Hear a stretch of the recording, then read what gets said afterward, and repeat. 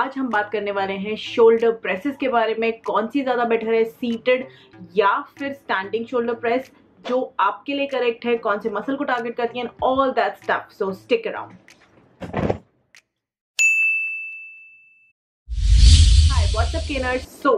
आज हम बात कर रहे हैं शोल्डर प्रेसेस के बारे में जो कि आप लोग जानते हो। सो शोल्डर प्रेस आपको कौन सी करनी है? सीटेड या फिर standing depends a lot on what is your motive behind doing the shoulder press क्योंकि दोनों ही एक्सरसाइजेस की जो मसल टारगेटिंग है वो बहुत डिफरेंट है। सो so, पहले बात करते हैं अगर किसी को नहीं पता कोई बिगनर है कि कौन से कौन से लाइक uh, मसल्स होते हैं या फिर एरियाज़ शोल्डर में बहुत सारे हेड्स होते हैं। एक होता है anterior head which is your is your front delt एक होता है lateral head which is also known as the side side lateral. The third one is your posterior head, also known as your rear delt or rear muscle. So guys, having said that, बहुत सारी studies हुई हैं shoulder presses के ऊपर standing and seated को लेके कि कौन सी ज़्यादा बेहतर है एक दूसरे से when it comes to particular muscle targeting according to the studies when you do the seated shoulder press so so, उसमें आपका side lateral which is your medial head and also your anterior head आपका ज़्यादा work करता है as compare to the other shoulder muscle standing shoulder press की जहाँ बात आती है तो आपका एंटीरियर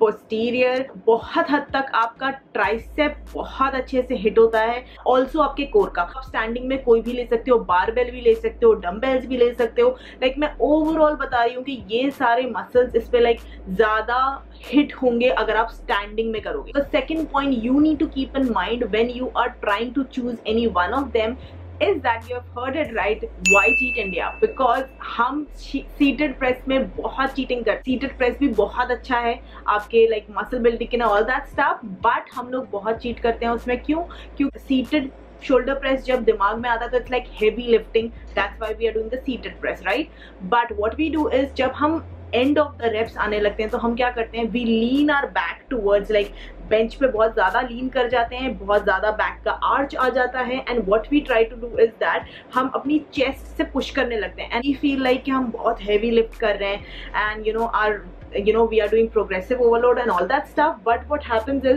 कि जब आप अपने चेस्ट को ज़्यादा इन्वॉल्व करने लग जाते हो टूवर्ड्स दी एंड तो होता ये है कि शोल्डर से टेंशन हट जाता है, जो कि हमारा मेन फोकस है and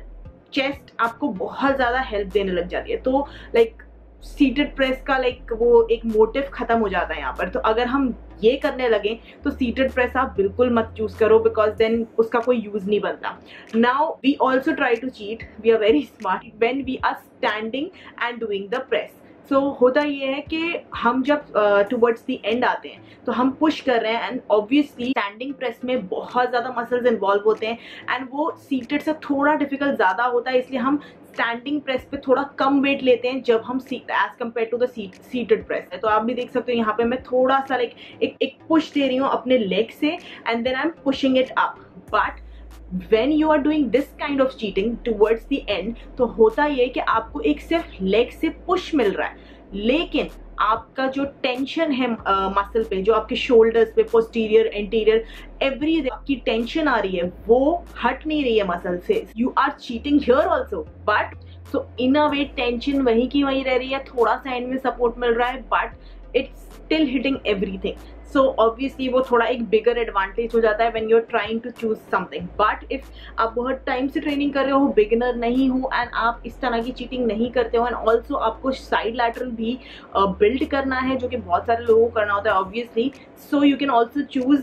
the seated press and आप अगर लाइक like, दोनों का बेनिफिट लेना चाहते हो because both have their own advantages so आप मिक्स एंड मैच कर सकते हो जैसे कि मैं करती हूँ. सो आई होप आप लोगों को हेल्प मिली होगी इस वीडियो से. थोड़ा बहुत जो भी बिगनर्स हैं उनको समझ आया होगा कि seated and